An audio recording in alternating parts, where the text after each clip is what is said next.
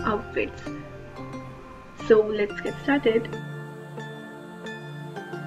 First outfit I'm wearing a leather jacket, checked skirt, stockings and boots. So I've opened up my hair and it looks really good with open up hairs and leather jacket. Overall I love this look.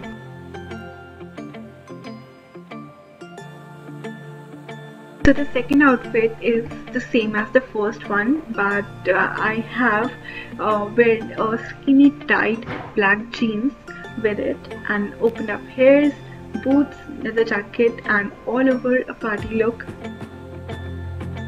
The next outfit is the formal attire uh, in which I'm wearing a red plain blazer with skinny tight black jeans with sandals and it is the best outfit for a formal party or a meeting.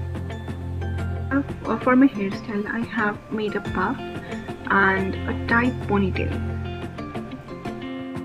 This is the casual outfit that I'm wearing with a long jacket or you can call a shrug with a printed text on it and with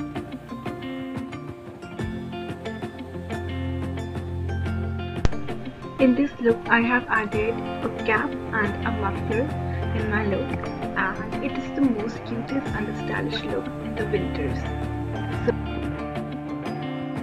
which is the look you like the most? Comment down below and please like, share and subscribe to my channel. Thanks for watching.